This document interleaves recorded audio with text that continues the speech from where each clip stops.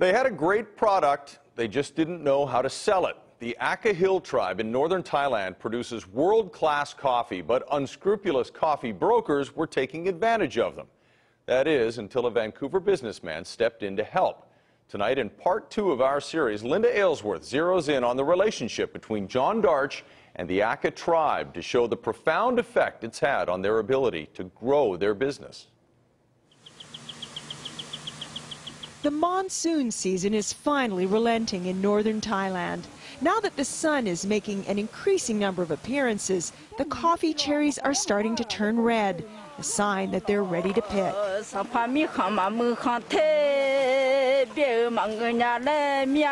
The Akha Hill tribe started growing and harvesting coffee 20 years ago. But in spite of their efforts and high quality beans, their crop wasn't paying off. They are very poor people very poor people, even in their own country. Until very recently, they've never been acknowledged. They are a displaced society. Until recently, because of John Darch, a retired Canadian mining executive who learned about their plight from this man. The people still not strong enough. After dedicating 10 years of his life to helping the Akha, it became clear to Wicha Promyong that outside help was required if the villagers of Doi Chaang were to succeed in raising themselves out of poverty. John Darch seemed up for the challenge. Kun John said if he has chance, he will come and help at least to get the market in Canada. That was the first met for, for five years ago. When I first arrived, Vichai brought me along to the washing plant where he produced the coffee. And here it is, a very, very small plant, very limited capability. After sending some of the Arabica beans away for analysis and learning that they were the very highest quality, John and his son created the Doi Chaang Coffee Company.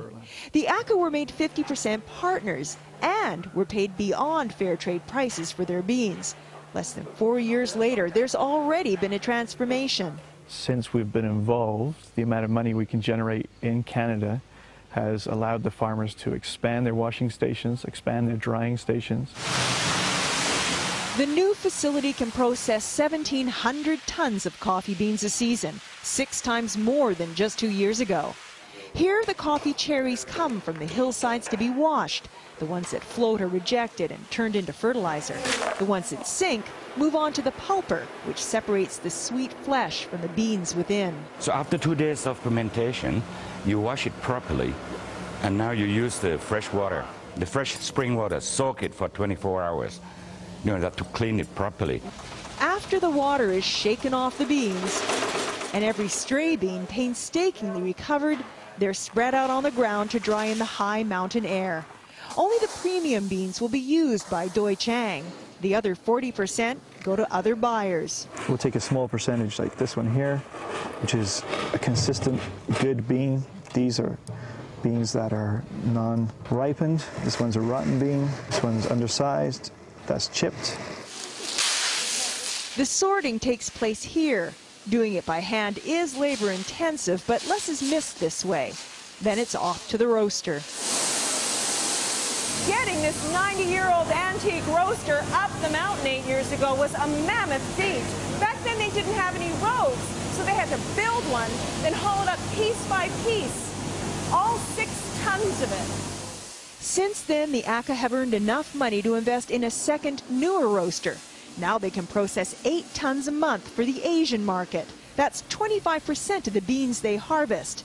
As for the other 75%, this is our 900 square meter uh, warehouse, and uh, behind me here we have our next two containers of green beans to go to Vancouver.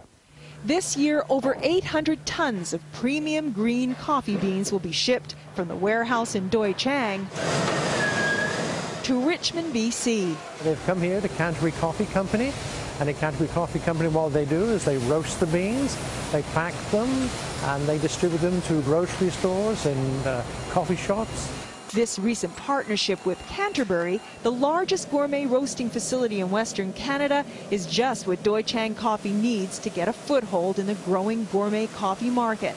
It's also exactly what Canterbury was looking for. We have a very short supply of organic fair trade coffee in the marketplace. Um, more and more coffee houses are looking for that product. Lightheart's recent visit to Doi Chaang Village clinched the deal. They've taken their coffee from not even being known to being rated in the 1991 um, area, and it's just exciting to see that happening. So we feel good that we're part of that, giving back to, to those people. Those are the children that will benefit a lot. Helping the Akha to help themselves is what it's all about. Darch is funding the venture with his own money. With Canterbury's help, he hopes to crack the international market. But for now, getting the brand and the cause better known here at home is an excellent start. I was living a comfortable life. I could have retired, but there's a much greater feeling and passion towards this project than anything else I've done before. Yeah. Well, tomorrow we're going to learn a little more about the Akha people and see exactly how selling coffee to Canadians is changing their lives for the better. And if you'd like a lot more web extras on this story, just log on to our website. There's video and pictures and a blog at globaltvbc.com. Just click on links in the news.